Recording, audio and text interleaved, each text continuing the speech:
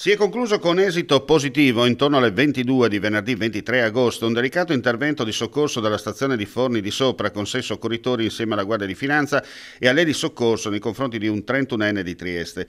La stazione è stata allertata intorno alle 18.30 dalla Sores a seguito di una chiamata al numero unico di emergenza 112 da parte dei familiari del 31enne che era rimasto incrodato su una parete rocciosa friabile assieme al proprio cane.